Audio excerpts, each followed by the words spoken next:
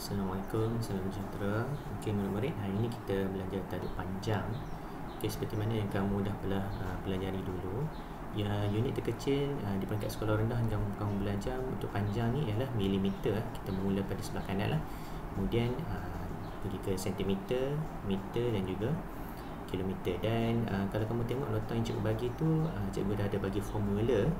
Uh, Kalau kamu tengok kat situ, uh, 1 cm bersamaan dengan 10 mm 1 meter bersamaan dengan 100 cm dan 1 km bersamaan dengan 1000 meter. Jadi pertukaran unit dia tu, okey, kamu boleh tengok kalau milimeter kita nak tukar kepada ha, sentimeter, kita perlulah bahagi dengan 10.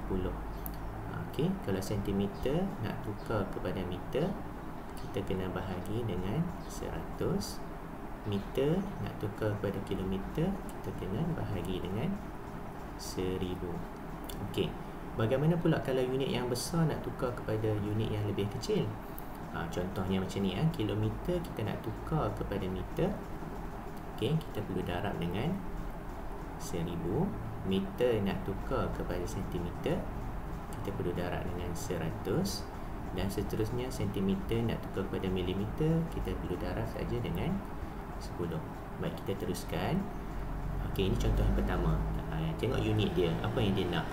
Okey dia nak sentimeter ni Kita nak tukar kepada Milimeter Kalau kamu tengok balik yang awal cikgu tunjuk tadi ha, Sentimeter nak tukar kepada milimeter Kita perlu darabkan dengan 10 Jadi 5 darab dengan 10 ha, Kita dapat 50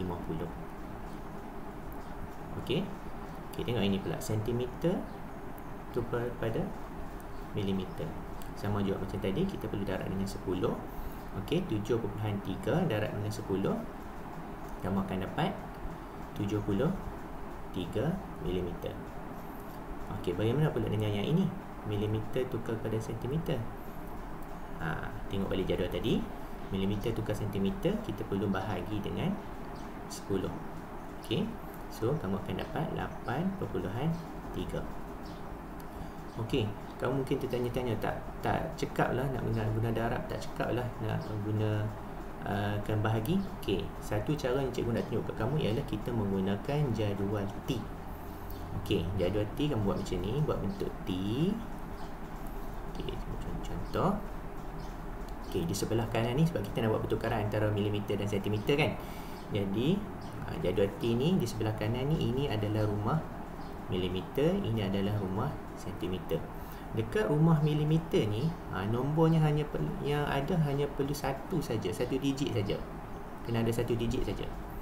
Ha, tak kisahlah apa nombor tapi dekat rumah milimeter hanya perlu ada satu digit nombor sahaja. Okey, cikgu ambil contoh uh, soalan yang kedua ini. Okey, cikgu ambil contoh yang kedua ini. 7.3 cm kita nak tukarkan kepada milimeter. Okey. Baik, kamu tengok. Eh? titik tengah ni okey 7.3 ni titik ini adalah garisan yang tengah ini. Ha, garisan tengah titik T ni. Uh, apa? Tanda T ni. Okey baik jadi 7 ni duduk di sebelah kiri rumah sentimeter. Titik ni adalah palang tengah ni dan 3 di rumah milimeter ha, jadi bila kita buat tukaran kepada milimeter dia akan jadi 73 milimeter mudah kan? Baik kita tengok contoh yang kedua. Milimeter tukar kepada sentimeter. Ok milimeter tukar kepada sentimeter. Jadi disebabkan dia milimeter kita kena isi dia bermula daripada rumah milimeter jadi di rumah milimeter ok kena isi pada sebelah kanan eh. Perlu ada satu digit saja ok jadi kita isi dulu nombor 3 Okey, kemudian kita isi nombor 8. Okey, apa jawapannya bila kita nak tukar pada sentimeter? Okey, kamu kena ingat garisan tengah ha, jadual T ini adalah titik perpu perpuluhan. Jadi jawapannya adalah 8.3 cm. Jadi dengan menggunakan jadual T ni kamu boleh buat macam-macam Okey, apa-apa jawapan pun boleh keluar dengan menggunakan jadual T. Kamu boleh, boleh nak tukar sentimeter pada milimeter, boleh tukar milimeter pada sentimeter dan boleh keluarkan unit itu satu persatu pun boleh. Contoh. Okey. Daripada 88.3 ni, okey ataupun 83 mm ni, kamu boleh keluarkan jawapan yang kedua iaitu 8 cm. Okey. 3 mm. Ha, nampak betapa hebatnya penggunaan jadual T. Okey, kita tengok contoh yang kedua. Okey. Ha, ini contoh ha, unit gabungan. Unit gabungan yang mana dia melibatkan sentimeter dan milimeter nak tukar kepada mili milimeter. Okey, kamu tengok dulu yang pertama, apa jawapan yang dia nak? Okey, dia nak adalah milimeter. Okey. Jadi, untuk soalan yang dah ada milimeter, kamu tak payah usik dia. Yang perlu diubah adalah sentimeter tu. Kita nak ubah pada milimeter. Baik, kita gunakan jadual T tadi. Okay, jadual T ini adalah uh, rumah milimeter ini adalah rumah sentimeter dekat rumah milimeter hanya perlu ada satu digit nombor saja okey kemudian kita cuba isi yang 8 cm ni okey 8 cm dia betul ada di mana patut ada pada rumah sentimeter dah 8 jadi di rumah milimeter ni tak ada apa-apa apa kita perlu isi kita perlu isikan sebagai sifar. Jadi jawapan yang keluar di rumah milimeter adalah 80 milimeter. Mudah kan? Okey, jadi kat sini kita dah dapat dah 80 milimeter. 8 cm ni dah tukar pada milimeter. Jadi 80 milimeter. Kita tambah sahaja dengan 5 milimeter yang tengah duk tunggu tu tadi.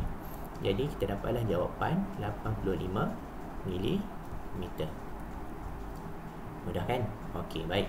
Kita tengok yang kedua 3 cm 8mm Dia nak jawapan dalam sentimeter Okey macam cikgu kata tadi Okey soalan nak sentimeter uh, uh, Soalan nak sentimeter jawapan dia Jadi di bahagian soalan tadi yang dah ada sentimeter Kita tak perlu isi Yang kita perlu ubah adalah 8mm 8mm ni tadi kita nak jadikan dia sebagai sentimeter Okey kita berbalik pada rumah uh, Kepada jadual T tadi.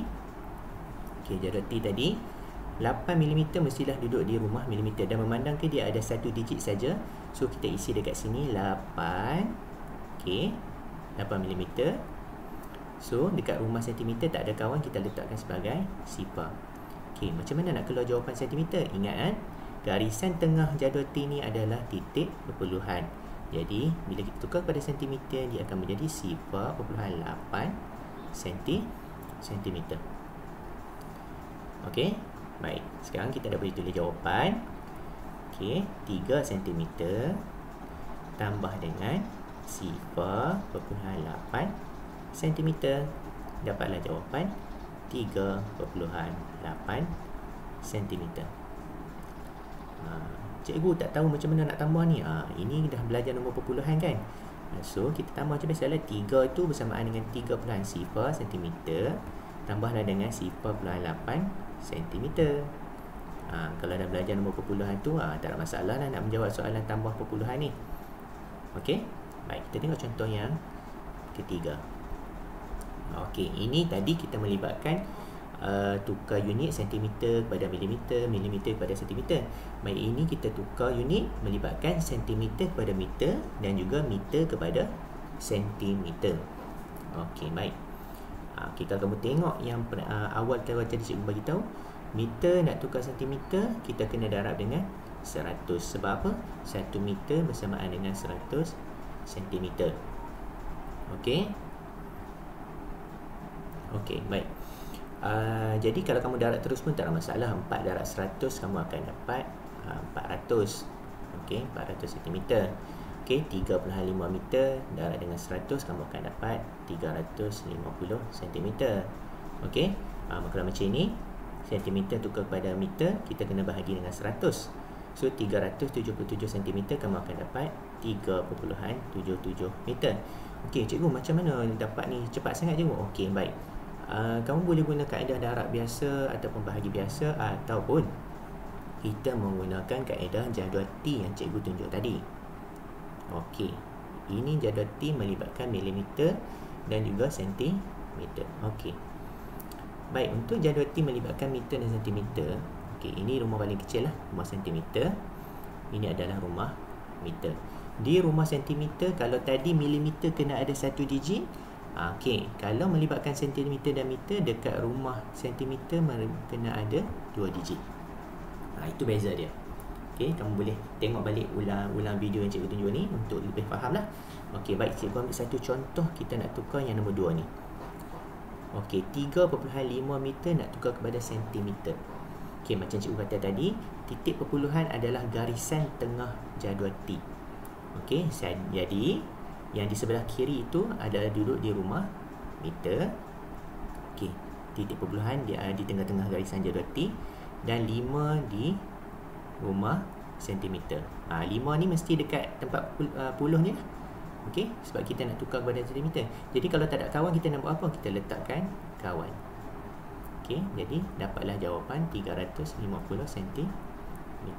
Baik, macam mana pula dengan uh, 377 cm cikgu? Okey, disebabkan dia sentimeter, kita kena isi dia bermula pada sebelah kanan daripada rumah rumah sentimeter. Baik, kena ingat rumah sentimeter kena ada dua digit saja. So kita isi daripada sebelah kanan rumah sa pada sa 7 7 yang lebih tu masuk ke rumah meter. Okey, sebab kita nak tukar kepada meter, ha, jadi garisan tengah uh, jadual T itu berfungsi.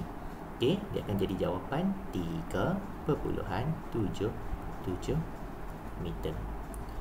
Ha, mudah kan? Okey, daripada sini pun kamu boleh dapat lagi jawapan yang kedua.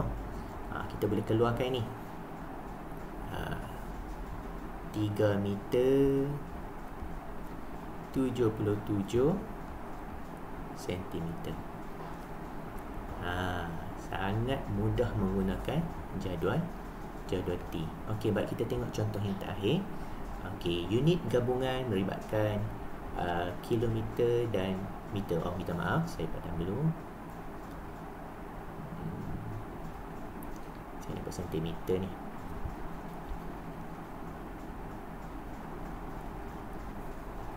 Okey, cikgu ubah 9 meter 24 cm nak dalam sentimeter. Okey. Hmm. 9 meter 24 cm nak jawapan dalam meter. Okey, soalan yang sama tetapi kita nak dalam unit yang unit yang berlainan. Baik, kita cuba menggunakan jadual T tadi, tapi sebelum tu kita tengok dulu soalan dia, apa yang dia nak. Okey. Kepada soalan yang pertama ni, dia nak jawapan dalam sentimeter. Jadi, uh, unit yang dah ada sentimeter kita tak perlu isi dia. So, kita yang kena ubahnya adalah unit meter saja. Okey. Baik kita gunakan jadual T tadi. Okey. Sentimeter meter. Kat rumah sentimeter ada dua digit nombor. Okey, kalau nak buat satu-satu pun boleh, nak teruskan masuk pun boleh, tak ada masalah. Cikgu tunjuk cara yang pertama. Okey, kita nak tukar dulu 9 meter ni menjadi sentimeter. Okey, 9 meter dekat rumah mana? Dekat rumah meter 9. Jadi tak ada kawan kita kena tambah sifar jadi jawapan dia 900 cm so 900 cm tambah dengan 24 akan menjadi 924 cm ok ada satu cara lagi. Kita masukkan semua terus. Ha, lagi mudah. Ok masukkan 9 di rumah meter masukkan 24 cm di rumah sentimeter pun boleh terus dapat jawapan 924 cm mudah kan? Baik kita tengok yang kedua macam mana nak ubah 9 meter 24 cm menjadi menjadi meter. Okey macam cikgu kata tadi yang mana unit meter kita tak perlu usik yang kita kena ubah adalah 24 cm itu menjadi meter. Okey okey kalau kamu nak ubah 24 cm menjadi meter tu sama juga. Kita masukkan ke dalam jadual T tadi. Okey 24 cm duduk dekat rumah uh, cm lah. Empat dua. So dia tak ada kawan kita letakkan sebagai sifar bila tukar kepada meter dia akan jadi sifar dua empat meter. Jadi sembilan meter tambah dengan uh, sifar dua empat meter akan menjadi sembilan perpuluhan dua empat meter. Okay. ataupun cara yang lebih atas macam juga kata tadi kita masukkan semua unit yang kita dah nampak. Okey 9 meter dekat rumah meter 24 uh, cm dekat rumah sentimeter. Baik. Kita nak tukar pada meter kan? Ha, nak tukar pada meter. Uh, macam tadi juga ingat garisan tengah. Uh, jadual tip tu adalah titik perpu perpuluhan. Jadi boleh terus keluar jawapan tak payah nak tambah banyak-banyak dah. 9.24 meter. Mudah kan? Okey, selamat belajar. Untuk unit meter ke kilometer. Uh, untuk pelajaran seterusnya, cikgu akan uh, buat video yang baru. Okey, selamat belajar.